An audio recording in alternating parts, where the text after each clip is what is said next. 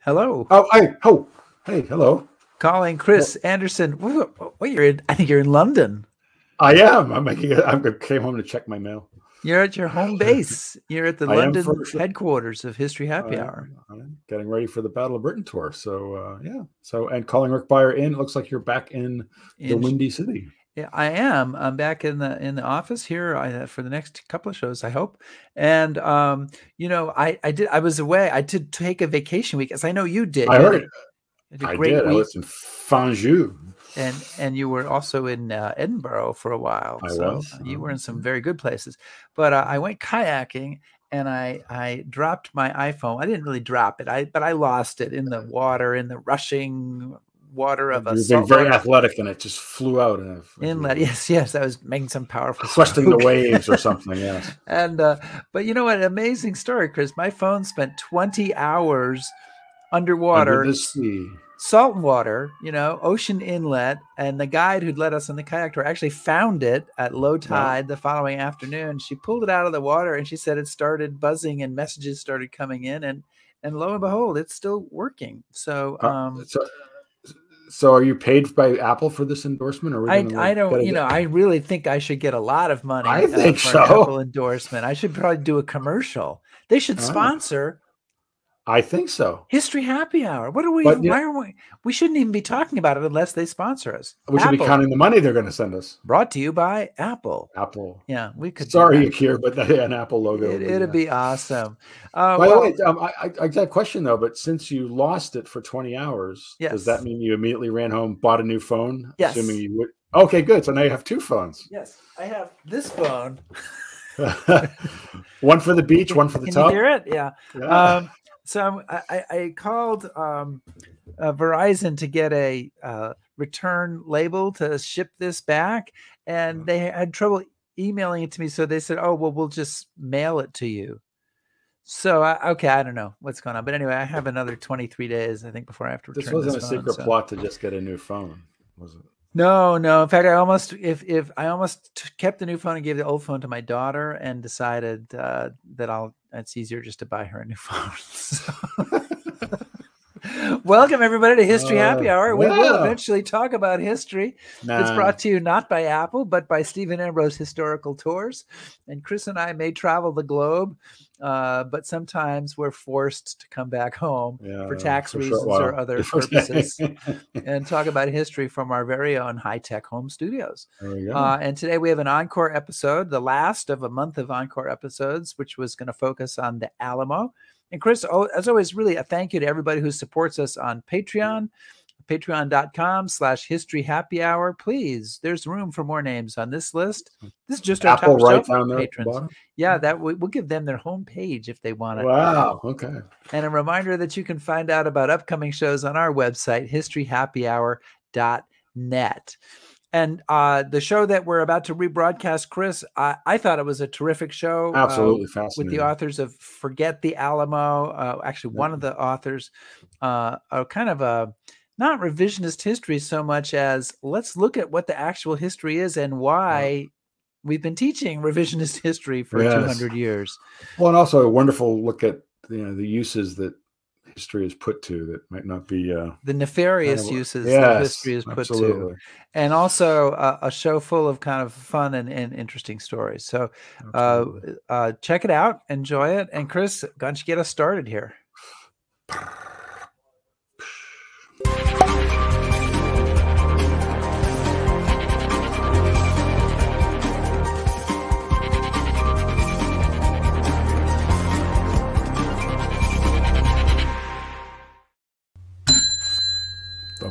bar is open. The bar is open, and what's on tap today, Chris? Yeah, well, um, we've got a very interesting topic. We're leaving kind of our, our familiar ground here and also a very controversial topic. Uh, we're going to be joined tonight by Bryan Burrough, who is the co author, along with Chris Tomlinson and Jason Stanford, of Forget the Alamo, a new historiographical look at the Alamo and the uses and misuses of history. Uh, and this is a book that uh, author Robert Draper has called an all too timely tale of how fable, told forcefully and frequently enough, makes its insidious way into history books. Uh, Burroughs is the author of six books, including Days of Rage, The Big Rich, Public Enemies, and co author of the New York Times number one bestseller, Barbarians at the Gate. And I should also point out uh, that he lives in Texas, so that kind of gives him some legitimacy in what we're going to be talking about. and and and now, Bryan, you're also a veteran of History Happy Hour. There you go. And what Your other career accolade. pinnacle has happened. Cheers. So, Cheers. Excellent. We uh, if, I don't know if you have a cocktail, but we I'm, I'm drinking beer today, Chris. And Yeah. Well, I couldn't Bryan's find a lo- I couldn't find a Lone Star here in London, but I got a Sol, so I guess that's um, close be as enough. close as I can get. Yeah. yeah. Close enough. Well, Bryan, welcome uh, so much to the show, and Chris, I'm going to let you start off the questioning, Yeah, the I wa- interrogation, interrogation, yeah, yeah. author interrogation. Well, I want to start with um, just a passage from the book, um, and this is this is from from the book, and it says, "It uh, the Alamo. Its legend comprises the beating heart of Texas exceptionalism, the idea deeply held among generations of Texans that the state is special." Somehow a cut above the Delawares and Rhode Islands of the world. Its story, as Steinbeck suggests, is thus prized as a kind of civic religion. It's not an overstatement to say that the Alamo is the state's secular western wall, its secular Mecca. Somewhat as Jews and Muslims have struggled over the Temple Mount, so Anglos, African American, Mexican American, Tejanos, and Native Americans are now debating the future of the Alamo and its meaning. So, given the heavy weight of its meaning and its history, what were you thinking by diving into this project? I think my co-authors would tell you guys that I didn't know. and I was, I grew up in Texas, but I was gone for 30 years, and this is the first book that I've written back while back in Texas about Texas. And you know, this set out to be kind of a lark, something we would a secondary book, a little art film book that we would do on at nights and the weekends. And it became a much bigger book in terms of the story we ended up telling.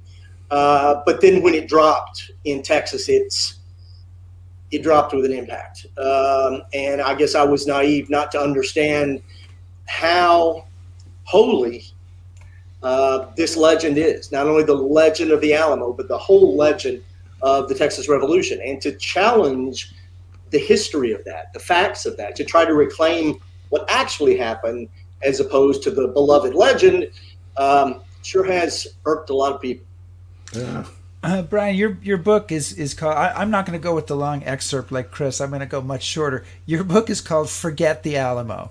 Clearly, you don't want us to forget the Alamo because you just wrote a book about it. But what should we remember and what should we forget? Well, Forget the Alamo was, I mean, if you're going to write a provocative title on Texas history, that is the title, right? I mean, Yeah. you kind of have to go with it. But yes, we're, we're, we're not trying to get people to forget the facts of it, but to forget the myths associated with it.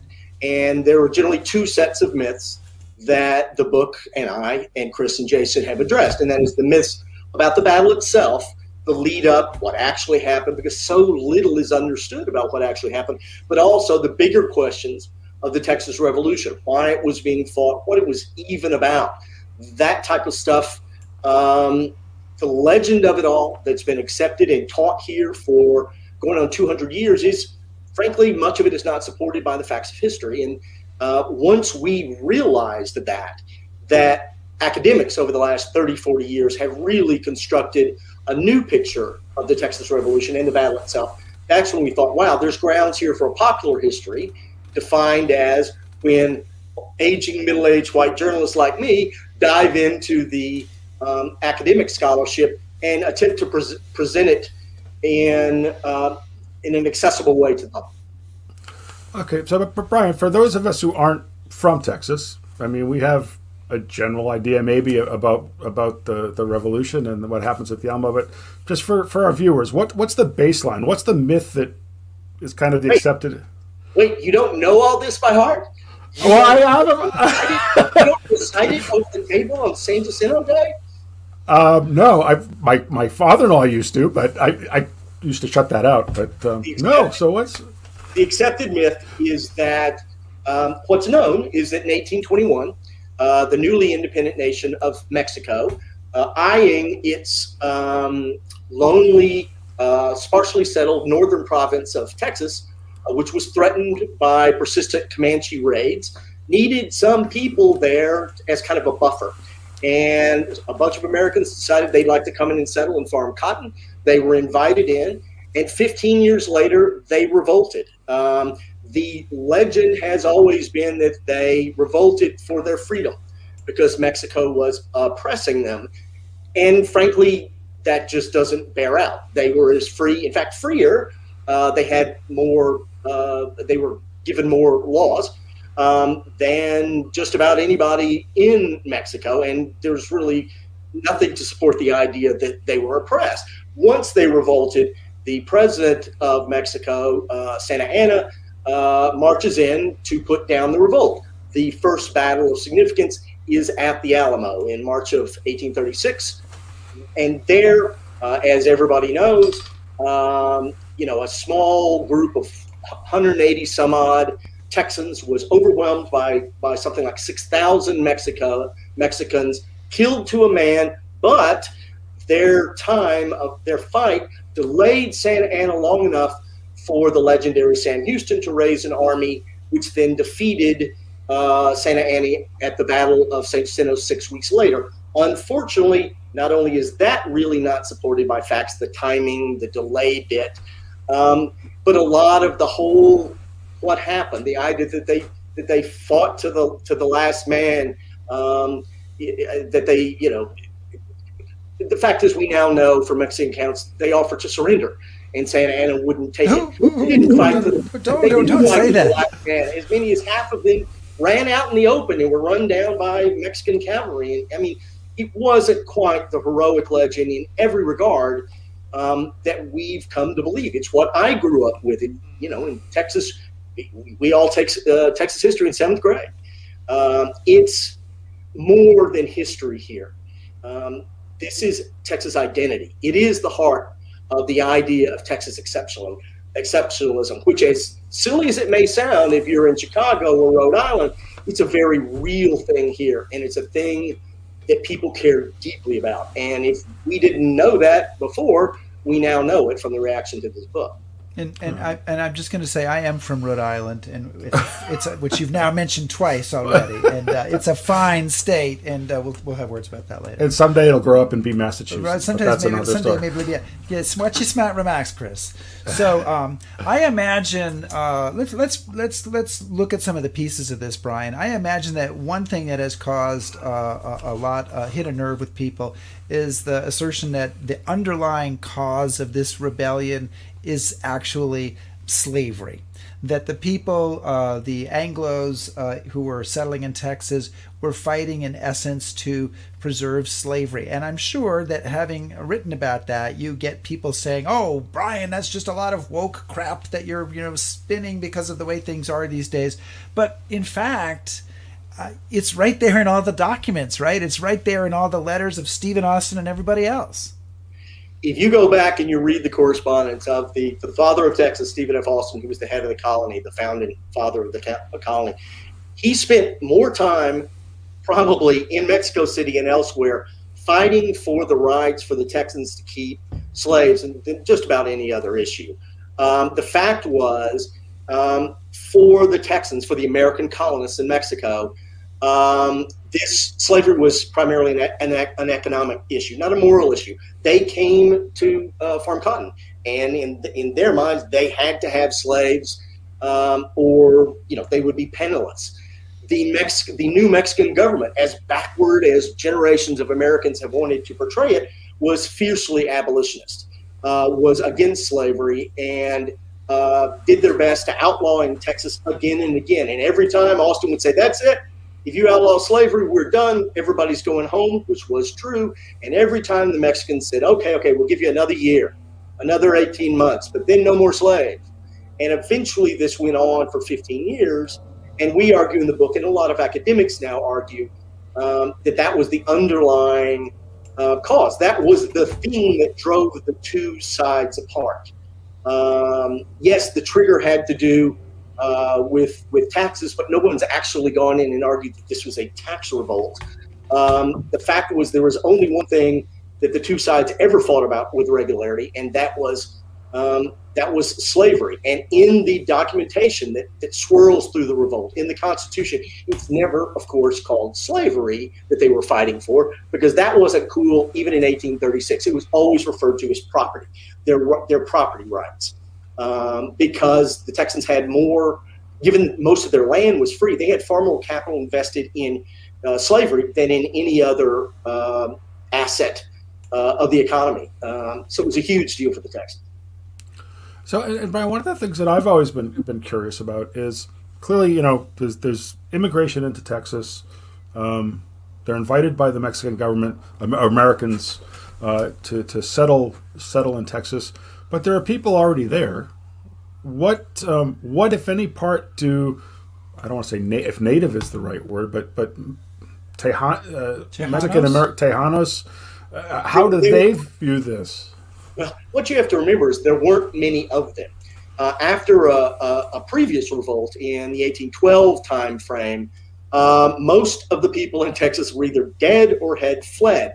There were circa 1820 a grand total of three towns in Texas holding maybe 4,000 people. And need I point out, there are, before the pandemic, there are office buildings in New York that have more people in them in the entire state of 1820 of Texas in 1821 when the Texans first started coming in. Now, uh, the Tejanos that were there, mostly centered, the moneyed ones uh, were in San Antonio, were entirely supportive of the American presence. It was good for com- commerce.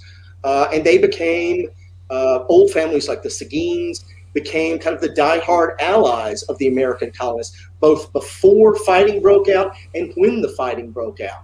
Uh, a lot of Tejanos uh, rode with the Texans and fought at, Sa- at uh, San Jacinto. And, and is, is their story part of the narrative?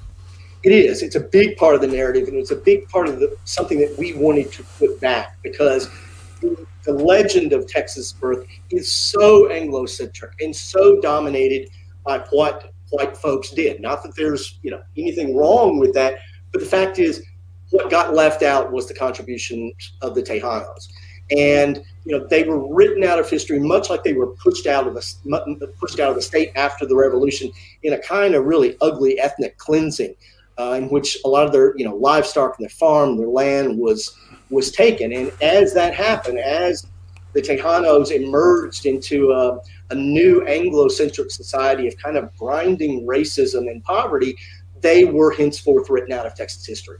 I mean, if you go back and you read just about all the histories in the 1800s and, and into the 1900s, you'd hardly even know there were people. You know, they, a lot of these books refer to Texas as a wilderness. Mm-hmm. Um, you know, the idea that there were people there who were deeply involved in this cause, in this revolution, uh, was largely lo- lost to history until the first generation of Mexican American historians began emerging from PhD programs in the 60s and 70s. And a lot of what we know now, uh, the totality of it began began then, and has evolved over the last 50 years. We stand on uh, uh, the shoulders, and, and the book Forget the Alamo stands on the shoulders of an awful lot of academics who have done this work uh, from the 60s, 70s, 80s, 90s, and, and, and especially just in the last 20 years, began, beginning to look at the at the importance of slavery to all this. That was kind of the last, kind of the third rail that nobody really wanted to go against for so long because it was so controversial. Uh, Bryan, I, I want to remind everybody that we are talking here today with Bryan Burrough, who's one of the authors of Forget the Alamo, uh, uh, which is a, a, recent book out and a terrific book uh, to take a look at. And Bryan, um, so so we we're, we're moving. We're gonna move, we're move slowly into deeper waters here as we go. Uh, let's talk about the three best known heroes uh, of the Alamo story: Davy Crockett, Jim Bowie, uh, William Travis. Now, now, don't break our hearts, but uh, maybe not exactly the heroes as portrayed by uh, by Fess Parker or the other actors uh, who portrayed them over the years. Rick, Rick, Rick. Not heroes. They're the Holy Trinity. That is, okay. that is the accepted phrase in Texas. I'm not making this up. For Crockett, uh, Bowie, and Travis.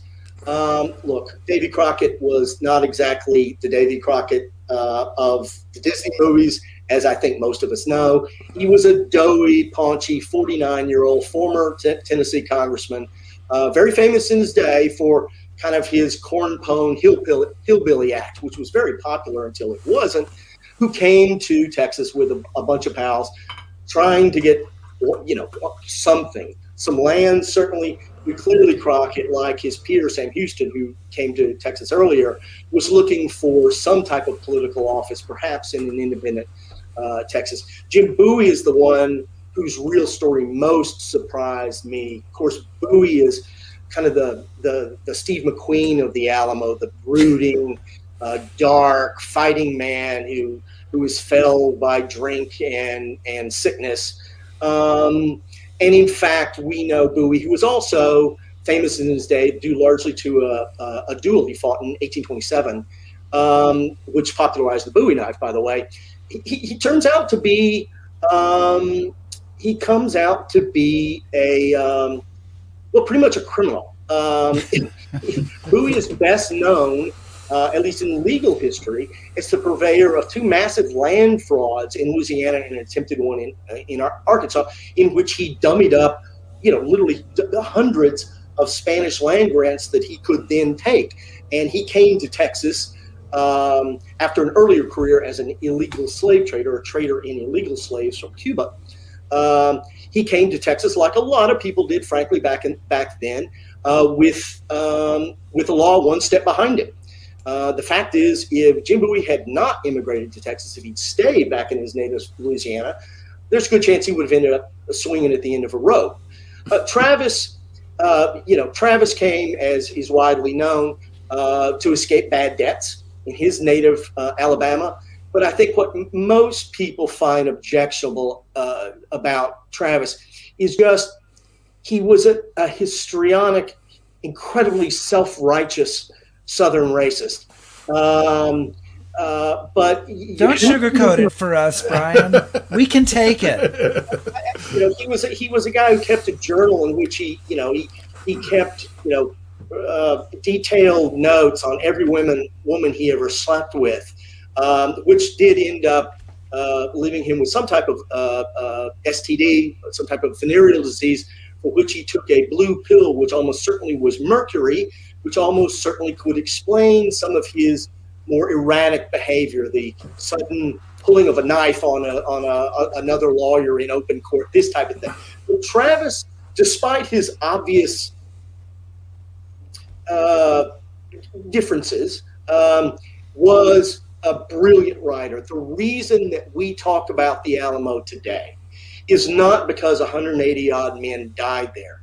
It's because William Barrett Travis wrote these incredible letters asking for help uh, from the state uh, from the from the the, the aborting uh, state government, and they were beautifully written. They were, you know, he was a master of spin.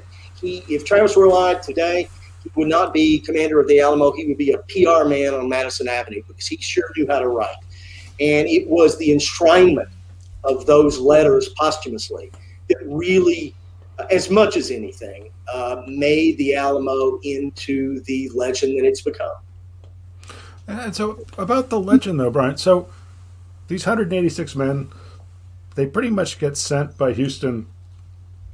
I'm, correct me if I'm wrong, but kind of on a fool's errand. They get kind of left to left to hang. There's a desultory bombardment of the, of of the Alamo. The Santa Anna says enough is enough. He storms it. It's over pretty quick. They're dead. Yep. Not very glorious, pretty gory, over pretty quick. So how does the legend of what happened there start? I mean, who who's saying, okay, let's turn this into something? The legend starts with two things. One is Travis's letters. The second is when Sam Houston realized that his little army of 900 men didn't have much chance against Santa Anna's incoming uh, Mexican army, and you know he needed he needed men with high morale. He needed men who felt they were fighting for something larger than themselves and larger than their their own lives. And he came up with, of course, uh, remember the Alamo. And the first time that history reports that the words were spoken was during the initial charge of the Texans at San Jacinto, uh, when uh, a colonel on the on the left yelled, "Remember the Alamo! Remember Goliad," which was another slaughter uh, of Texans, more Texans, twice as many at uh, outside the town of Goliad. And because remember out, remember the Alamo was being shouted uh, during the victory at San Jacinto, it became the slogan uh, after the fact of the Texas Revolution. And then, as you know, a mass of Anglo Americans moves into Texas afterwards and begins regarding this whole new land, where did it come from? They start writing histories. As when Texas is brought into the Union 10 years later, there's another surge of books trying to appraise what is this place? Where did it come from? What's it what's it about? And all of them enshrined the this myth that was then so fresh. It was 5, 10, 15 years old of these incredible men who gave their all uh, at the Alamo to buy the time for this incredible battle at San Jacinto. Um, and you know the legend just was not challenged in in any serious way until the 1900s. That's the first serious thing. Remember the famous story about the line being drawn in the sand? That's probably the most famous uh, myth of the Alamo. And we now know, as academics have before us, that um, this was made up uh, by a gentleman, uh, an amateur historian in circa the 1885, 1882 uh, range, and was accepted uh, as reality there for 30, 40 years and made it its, made its way into the dominant Texas history textbooks uh, until it was finally kind of challenged in the early 1900s. Um, so even 100 years ago, there was a question um, agitating in Texas about what really happened and what kind of can we say happened. Um, and that percolated for what? Going on a century until now you've had some, some academic histories and now a, a, a significant popular history, I would call our book, that tries to put this all into one place where ordinary people can begin to recapture the Alamo of history and not the Alamo of legend. So, uh, one of our viewers, Gail Wright, mentions that uh, uh, it, it, became even more of a legend with the Disney portrayal and the John Wayne portrayal, both of which you write about in the book, and Walt Disney's involvement in kind of uh, creating uh, the Davy Crockett hero image is is pretty huge. I mean, for a person of my age, uh, without giving away what that age is, uh, the iconic Alamo image is Fess Parker on the ramparts swinging old Betsy at legions of Mexican soldiers who apparently don't want to shoot at him from a distance, but want to come up and get clubbed by old Betsy uh, before he's overwhelmed. And when, when I researched and wrote a little bit about Davy Crockett 15 years ago, and again saw it again in your book, I was surprised to discover that according to accounts from Mexican soldiers, because yes, there are accounts from Mexican soldiers, that Davy. the only accounts. What? They're the only accounts. They're the only accounts. Yes, but but, but it's like some people are like, well, you, nobody knows what happened because everybody died, and it's no. That, oh, that justifies my phrase. Not everybody. no, no. Actually, there were, there were Mexicans side that that lived and they didn't just kill themselves on the spot. So they not only told the story in memoirs, they told stories in, in actual memos written the next morning. This type of thing. I mean, there were after action reports of the of the Alamo in archives at Mexico City. Then there's no real reason to doubt most yeah, of but, all because they agree. Uh, but you're right. But but, point, but Davy's final moments are somewhat at odds with the myth, right? So the, tell us the that. caller or the, the, the person who, who weighed in um, makes an excellent point, and they're covered, I think, in chapters 15 and 16, which my uh, co-author Chris Tomlinson spearheaded for us. And until the World War II 1950s era, uh, it's fair to say that the Alamo legend was primarily a Texas thing. It would be cited by Texas politicians, you know, every year on the anniversary, that type of thing. But it was the Disney out, the Disney David Crockett uh, which was three what three television movies.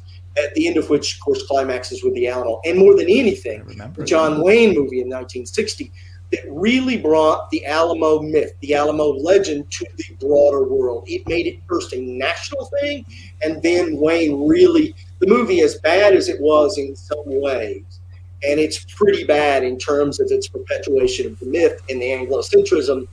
Um, really made it into an international, into a global myth.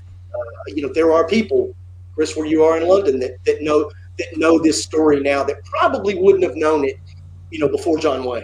Absolutely. Um, and you know, the, so the height of the Alamo myth, which follows closely closely after that in 1960, of course, our first Texas president, LBJ, who is the biggest Alamo head there's ever been, and Al- Alamo head being what we call Alamo enthusiasts.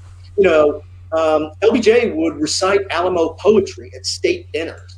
Um, he would he loved Alamo and analogies, talking about Vietnam. Never mind that everybody died at the Alamo. Then sometimes it wasn't. but, but these events from 1955 to say 1970 really took a quaint regional myth and made it into a big internationally known uh, legend. And for that, really, it's you, you have to thank or blame uh, Walt Disney, John Wayne, and LBJ. But but I but I need to but I need to know what what do we know about what happened to Davy Crockett? And was he up there on the ramparts fighting with old Bess? There are no accounts that I know of of history of anyone saying that that's the way he fought, that that's the way he passed. Uh, we know that version. It's very strange. That version, um, it, that legend seems to come from Walt Disney because if you go back to the 1830s, all the accounts are that Crockett surrendered and was executed, as in fact all the Mexican accounts, I believe there's seven, all agree that he was among the seven or eight who surrendered. Maybe he begged for his life. We don't really know, um, but he was but he was executed. Um, uh, the, the, this idea of swinging old Betsy till he died that's from Walt Disney. That's from John Wayne, and it really wasn't until the 70s when people started looking at Mexican accounts, going, "Wait, you know, that's a great story, but there's absolutely no evidence to support the idea that he well, there's only there's only seven accounts. You said. I mean, is seven? I don't know. Is that enough? Maybe it should be eleven or fourteen before we really believe it. You know, I don't think a lot of people are writing the history and say and just saying without attribution that he died because it's always that he that he that he surrendered because it's it's always been so yeah. uh, fraught. Uh, but unfortunately, there is no evidence that I'm recalling offhand on a Sunday afternoon with a glass of wine that he went down fighting. In fact, all the evidence is to the contrary. Right? No, no. I, I, so, I am I'm, I'm sure it is. Uh, so, Bryan, one of the things I'm curious is, is over the course of my career, I, have you know, college, grad school, et cetera, et cetera. I've had to take a lot of historiography courses, and and I get that a historical event, you know, that there are interpretations 5, 10, 15, 20, 25 years after an event that kind of be a little colored, a little romantic. But over time, you know, people look at it again, they revise the story, the narrative, it evolves. But this story just is stuck in this, it, it just never moved. And that's one of the things I found so fascinating. So maybe kind of sketch out broadly what, how that happened, the historiography. So, did I. Why was it? I mean, in in the in the 80s in the 90s you saw the first uh, texas historians actually saying exactly that point chris why hasn't this changed when we all know that it's really not true um, um, in fact the main reason is um, texas politicians going back to 1898 when the first one rose on the floor of the texas legislature and, and decried uh, some newcomer in the texas history department who was teaching something that he wasn't sufficiently pro Southern, the Texas government has been uh, very proactive in protecting the Texas myth. Um, the dominant faculty that teaches Texas history uh, for a century has, and perhaps uh, could still be seen as, uh, is the University of Texas. And the University of Texas uh, was run by uh, the University of Texas History Department was run by a a, a group of uh, older white men who, from around 1905 until around 1955, taught the pretty much the exact same story because they knew that's the way Texas politicians and the legislature wanted it taught. And so you see the exact same story, legend being taught in 1955 that was being taught in 1855. Right. Texas government wanted that way. And so you may say, well, why didn't that change? it started to change in the academic literature, probably in the 80s and 90s. But as late as, and, and as that some of that began to filter into the conversation over textbooks, That's where it started to get really hot in the early part of this century. You can look back on this great debate about uh, uh, about the Alamo that's happened at the, the, the, education department. And we, we actually have a rule handed down in either 2010 or 2011 that actually says it is the law of Texas that uh, Texas history teachers must teach that all defenders of the Alamo were, quote, heroic, that they were all heroes. It must, it must be taught. And when that those rules were up for review two or three years ago, and you know, pretty much every polit- every professor and high school teacher on that panel that looking at drafting standards said, you know, that's maybe that's not, um, you know, the, the, the state is about to be majority Latino. Maybe that's, maybe it's time we put that myth to, maybe. to, bed. And the governor of Texas at the time, Greg Abbott, who is still our governor today, basically spearheaded a massive attack on these people online. And uh, so it's still the law of the land that the defenders of the Alamo must be portrayed and taught as uh, heroic, which is it's it's I don't even know what to say. That that, that about sums it up. I mean, I because I mean I understand and I understand the popular history, obviously, and I, I understand writing to please an audience, and but one of the things that you point out that's so interesting in, in this whole drama is that you have highly skilled professional historians. People that know that you're supposed to go look at the sources from the other side and you're supposed to filter all through all the information. And they're they're giving it a pass which i i just found really startling. We're actually seeing this right now. When the book came out this summer obviously it was pretty controversial down here. The lieutenant governor as you may know canceled an appearance of ours at the state history museum. And you know we've talked with a lot of academics and you know almost all of them you know many of them work at state universities and they just say look this is nothing we can pipe up about. We can't say we can write it in the academic literature and they have. This book i don't want to say there's nothing new in forget the alamo but we are summarizing decades of academic accepted academic scholarship here. And to have some politicians uh, uh, attack us as fact free when in fact exactly the opposite is the case. We we are presenting what is the agreed upon academic view of Texas history and the Alamo now. And so it's it's a little sad to see people who are not schooled in the details, um, you know, uh, try to shut people up who actually just want to present history as it actually happened. Well, I, and I will say, as as a reader uh, and not exactly a reviewer, that the book struck me as thoughtful and well researched, and not particularly strident or political or fact free in any way. And and I mean, I I, I, I don't want to uh, damn you with faint praise, but I, I would almost say mild. I mean, it's not, there wasn't, as you said, there, there there's some new stuff in there, but there wasn't anything that was shocking. It was. Look, Rick, you, you put your finger on it. We knew from the word go that the only way anybody would listen to us is if we didn't preach. You know, more than most books, we're, this book had to be friendly, if you will. It had to be casual.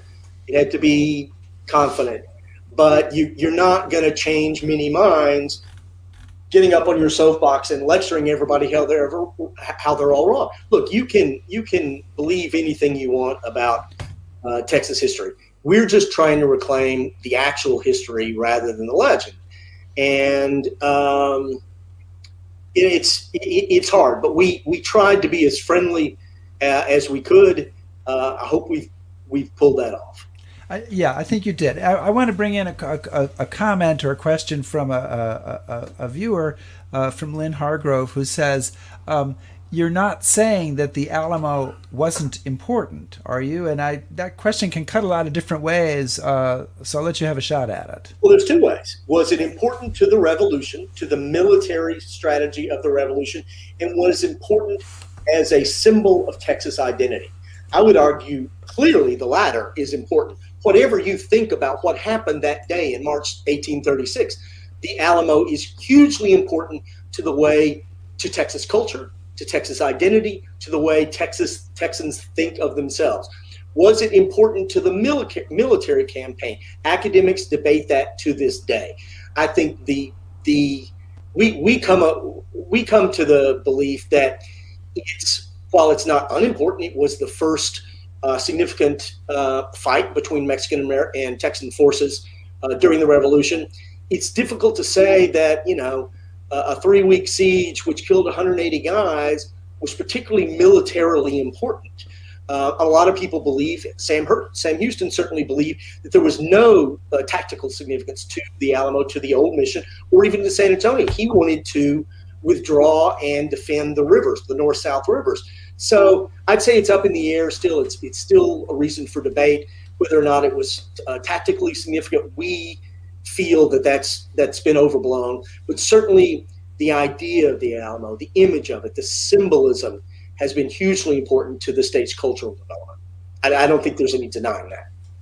So I want to get talk a little bit about the site itself. Um, given its importance and given the its place in Texas history and Texas identity, um, I don't think I'm being out of line by, by, by a little story from when I was growing up. You know, I was a kid. I watched the John Wayne movie. I loved it. My nan bought me the Alamo playset from Sears and Roebuck and we make the big family trip across country and we're going to go visit the Alamo. And I was so excited. I, I just couldn't wait. And we finally get there and I'm like, what a letdown. What is it? so get some, everybody, everybody, knows. It, it's, it's unanimous. Even the Alamo's biggest backers in San Antonio, sitting on the board that runs the thing, will tell you, yeah, it's a bit of a letdown. It's a little dingy chapel uh, without a lot of signage or things that explain to you what really happened. There's a little uh, museum that's not great um, with a little film that looks like it was put together by a ninth grade history class. Look, the fact is, uh, people of San Antonio and the state of Texas have been trying to figure out how to gussy out the Alamo for going on 50 years. And they've been arguing about it for 50 years. Um, you know, rolling around come the 90s, uh, the, the city fathers managed to get a lot of people on the on the same page because let's be clear, Native Americans have been complaining about graves because the the Alamo Plaza outside is the site of an old Native American um, a graveyard. Uh, you know, Mexican Americans, Tejanos, have been arguing about its importance and their how they belong in, in, in the history just as long as Anglos have. Even African Americans have come up uh, and said, well, hey, this this Walgreens across the street is important to civil rights because it's one of the first place blacks were able to to dine alongside um, Anglos. So everybody had. It took forever to get everybody on the same page. They finally did in the, just in the 2010s. There is now a plan to make a world class museum built around. And Chris, I'll nod to you because you'll know who Phil Collins is as the the great dr- drummer of Genesis and now quite a, a singer in his own right who has, although, and I'm surprised how many people didn't know this. I, I this was one of the few things about the Alamo I did know. Phil Collins is the world's greatest Alamo enthusiast. He owns yeah. the largest collection of Alamo memorabilia in the world. And this, I, I, have to jump in. I have to jump in here and say this was this was the shocker in your book, right? This was this is the thing. So many people: Crockett, Bowie, Travis. I'm there. Stephen Austin, Sam Houston, Santa Anna, and then suddenly it's Phil Collins and uh, and and he is so he's a huge collector. But there's that is also a story that's not free of, of controversy and issues as well. Let's just say, first off, everybody loves Phil Collins.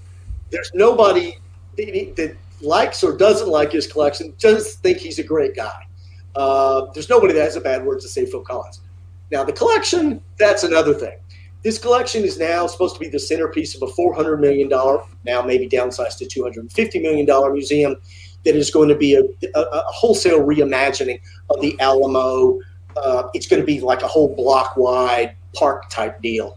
Um, the problem was, and we, look, we didn't go into this thinking we were going to be writing about Phil Collins and his collection, but we did get a tip midway through from a fairly high placed source, if you will, um, at the Alamo that Phil that Phil's collection was not quite what it was cooked up to be. Um, there's a lot in it that's authentic, authentic, especially the documents. But there is real concern among collectors and gallerists and experts that an awful lot of the most important uh, items, especially those connected to to the Holy Trinity, if you will, as well as James Bonham and people like that, uh, have very little in the way of authentication papers, and some of them, many of them, appear to be fakes, modern-made fakes, um, and that's a real concern when you're trying to build, uh, you know, a four hundred million dollar uh, museum. Uh, so that was one of the things that got people's attention when we came out and published that. I guess back in May, uh, in in uh, an excerpt on, on, the cover of Texas Monthly. Oh, one of the things I, I, I want to get your kind of your take on it. Um, your book is was informative. It was entertaining. I enjoyed it. I laughed. I was interested. Everything. But the one part of the book that really struck me the most, um, really affected me, made me very sad, uh, was when you were talking about um, Mexican Americans and saying that you know it's yeah. not as big a deal for them as it is for Anglo Americans. But every Mexican American kid knows after the seventh grade, he's different than everybody else. Yeah. And that boy, that just yeah. really. You, it's hard to write about. It's hard to talk about, especially as an Anglo guy, who's you know um, bringing you the stories of people um, of another ethnicity. Um, I, I, I almost want to apologize about that up front, but it was the most shocking thing to me in the book, and and to people who don't understand what we're talking about what we're saying is that the Alamo legend has been used um, to kind of beat down Latinos in the state for a long time ago. You know, envision the beefy Anglo bully, you know, hitting a little uh, Latino guy in the in the in the shoulder and saying, "Hey, remember the Alamo there, Jose." And it's always been a way to keep Mexican Americans, Latinos, Tejanos in their places. And when you talk to as many as we did, um, both academics, politicians, Latino normal people, you hear the story over and over. I thought I was American. I believed in the Statue of Liberty. I, I thought the Declaration of Independence was about me until they taught the Alamo in seventh grade. And then I realized we're just Mexicans and we're always going to be Mexicans. And I don't, I'm not some woke lefty who throws around words like oppressive or oppression very often the pretty strong case that culturally the Alamo legend has been used to oppress Mexican Americans in the tech in, in the state for a long, long time. Uh, and those who have come out and said and try to express their truth have been basically hooted down. Um, we cite, you know, examples of that in the book. Um, so, you know, when I hear uh, people pushing the Anglo-Saxon eccentric um, legend these days, I somehow say, wow, I bet, aren't you like me? Do you know what that story, that legend means to your Latino neighbors? I didn't. I had no clue. And we, we suggest in the book softly that if more Anglos knew what that story really means to Latinos, would they be fighting so hard to preserve it? Um, I wonder. Well, that's a um, yeah, I mean, I think I think it, it was a, a very moving part of the book, and uh, and it's a great question. But and and look, uh, uh, uh Texas is changing, right? And you pointed that earlier. You're going to have probably uh, I don't know I don't know the demographics probably as well as you do, but you're going to have a um, a Hispanic uh, majority probably at some point in the near future. Yeah, those are down to forty one percent. And yet, Rick, if you look at again, I don't want to come off as some uh, uh, someone who's just attacking everybody. But when you look at the state government and especially the state media, it is there's not a lot of brown. You know, it is it is remains very Anglo, and so there's a lot of people who don't really value this lesson. They don't see that it's particularly important. There are uh, those who are well-meaning that think that it's not our our our story. You know, we you know we don't want to get in trouble for telling someone else's story we came to that moment in our book and realized, no, it's not. We don't know. We don't. It's not our story to tell.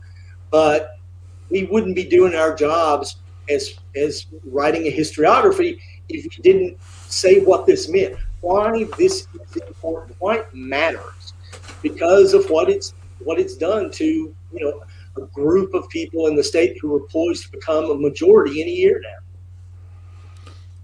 So so you know, today I think it's very popular that people use revisionism almost as a pejorative, and it's a misuse of the word.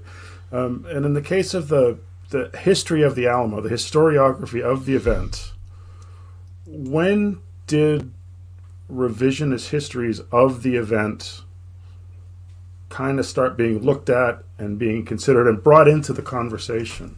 Really, and, and, and, can we and can we just for the for those of us who who have trouble with long words, uh, can we explain maybe what historiography is? Because uh, historiography is just a history of the history. History of the history. It's not just a history of the event. It's a history of how the story came to be told the way it is. Revisionism, at least as it's popularly used, really began around the sesquicentennial of the, the battle itself and the revolution in 1986. But the first major uh, uh, uh, the, the first major book of it came out in, in 1990 by a guy named Jeff Long. It's called what, Duel of Eagles.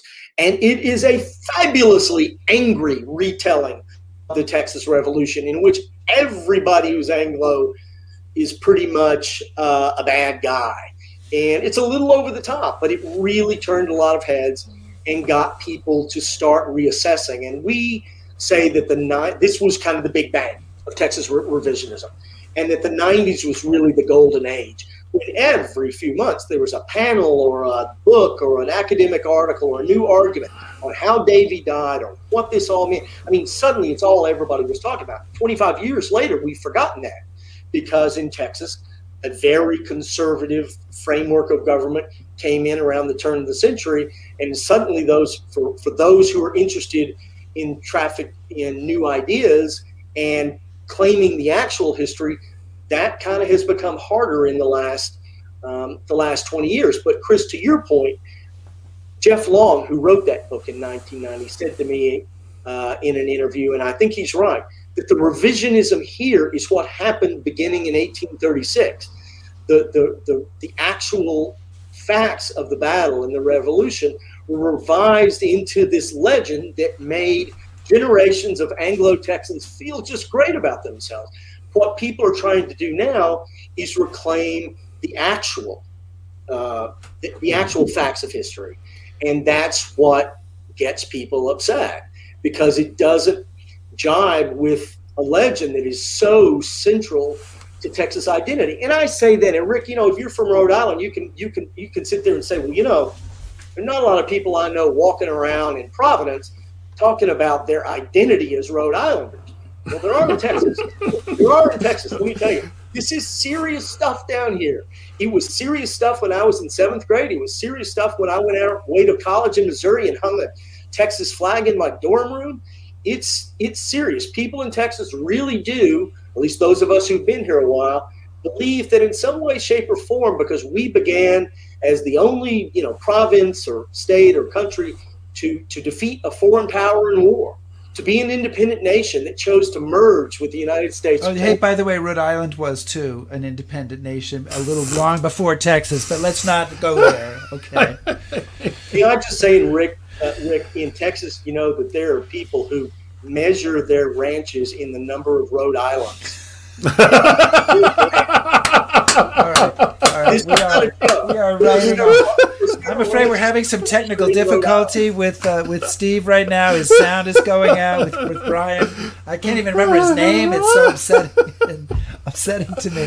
Hey, listen, I, uh, but but let's let's shift gears here a little bit because I do have a very serious and important question for you, which is I have written books with a co-author. I've written two books uh, with two. Each one had a, a co-author, and uh, but I have never written a book with two other co-authors. So writing a book with three people how the hell do you do that? Because it seems to me, how, how do you just stop there not being a fight the entire time? Um, you know, I can't say we didn't have our share. Um, uh, it helped that we liked each other. Uh, we got about two thirds of the way in and realized some uh, parts of the book were requiring a lot more work than we thought. And so one person moved off one chunk of the book, and suddenly we had two people taking, you know, the back the back third of the book, frankly, Phil Collins kind of blew up on us. And so Chris and Jason really uh, got in together and did an awful lot of in-person interview uh, views to take that home, while I remained back mostly in the 1800s. Um, and um, you know, it came together because it had to come together. Uh, ultimately, I will say, uh, I will confess, it came to, it came in way too long. We cut, I think Chris measured, we cut 27% of the book a year ago August. How many Rhode Islands is that? I just that, that was that was a couple of months worth of work that just ended because our editor said, "There's a great book in here someplace. Would you please edit it down so I can find it?" And um, you know, we did. Chris led the way on that. I did a lot of it. Um, and the book is much. The book is two thirds of the length that it initially was, and I'll say it's a heck of a lot better than what we turned in. So let me. All of which is to say, uh, if you think it's difficult working with three uh, co-authors, it is. Uh, uh, it's you know, luckily we had a, a researcher, uh, my my one-time partner Maggie Walsh, who is great at convening powwows and peace sessions, and uh, in addition to being a fabulous researcher, um, and we made it. you know, in the end, we made it. We came out, and to my great surprise, the book, you know, became you know a top ten bestseller and it, it is being read because I had no confidence that anybody was really going to care. Um, oh, they care, Bryan. They did. They care. So, so, you know, one of the things is you as you read your book, you're following the battles and the struggles of people to interpret the event, and and, and it's the, the weight of history is so heavy during all this, and, and you trace it wonderfully. Not only the events, how the site is saved, how it's interpreted, what they're doing with it now, the fight for the museum, and what that's going to look like.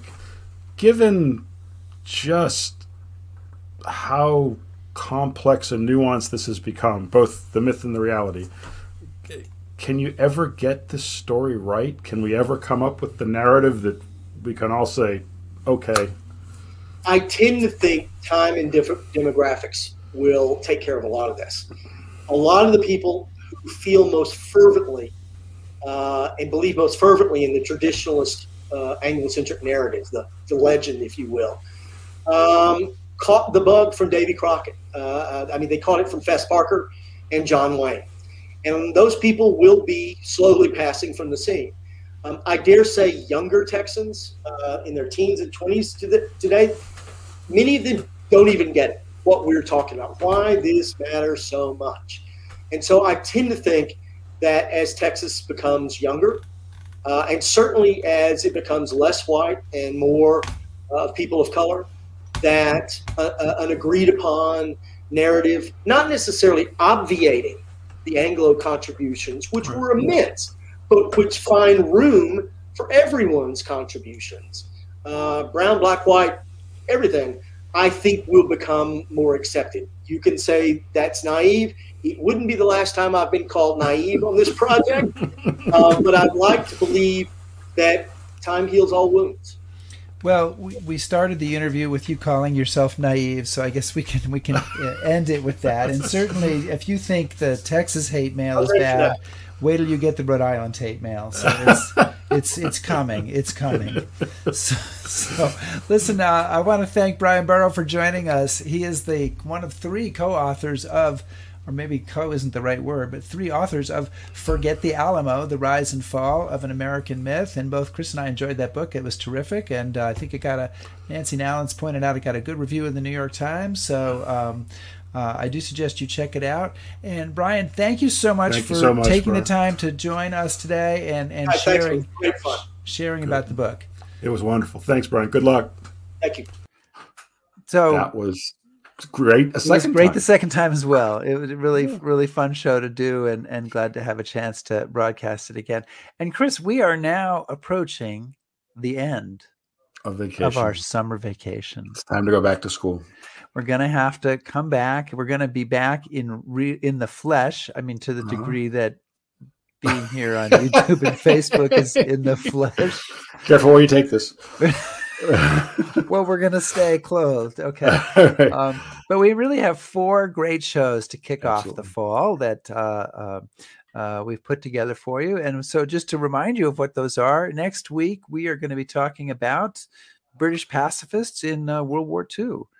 Yeah, that's a that's a book has been getting a lot of uh, attention here in the UK, and um, I'm really excited about uh, the book and having having the author on to talk about one of those aspects of uh, the Second World War we don't really give a lot of thought to. So uh, I'm really looking forward to this one. And then the following week, we're going to continue our Second World War theme uh, Mhm. with our favorite guest. I guess he's our Mhm. favorite. I mean, I love all of our guests, know, but but he's kind of special. he he's the first five timer. this is going to be his fifth appearance on History Wow. Happy Hour. And did you order the new Jaguar for him or whatever we're getting him?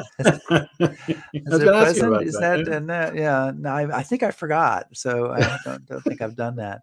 Then uh, the following week after that, we're going to talk to uh, Tim Tate, who's the author of a book, The Cold War Super Spy. So we're actually going to have two Cold War shows, Chris, because Oh. after the Cold War Super Spy, we're going to do Cold That'll War. Nazi, Nazi fugitives. Yeah, Look that's at- gonna be cool. If you can bring Cold War, Nazi fugitives together, I mean, this is obviously this is um, If we could just bring Martians in somehow. this is meat for history happy hour right i mean if only we could have a, a sort of a, a a red coat victory as part of that as well Ooh, or a ooh, or a ooh. scottish brigade or something some highlanders coming in with their Wow. broadswords then we would have a uh, and and maybe an inflatable tank and then we would have the whole An inflatable broadsword. yeah I, the broadswords and the inflatable tank we kind of know who's going to win that battle so it's, it's not really a, a really a close call there um, uh, please make sure if you're watching and you're liking what we're doing um, i don't know why you would but anyway please make sure you follow us on facebook or subscribe to our youtube channel it's a great way to get notified about upcoming shows and it makes us feel good that we have people who like what we're doing so we you know validation. we really do. I, I mean, everybody does, and and we're among that group. And uh, we we look forward to seeing you live, live, Live, live. Uh, a week from today. So uh, thanks everybody for joining Thanks, us. everyone. Take care. Be safe.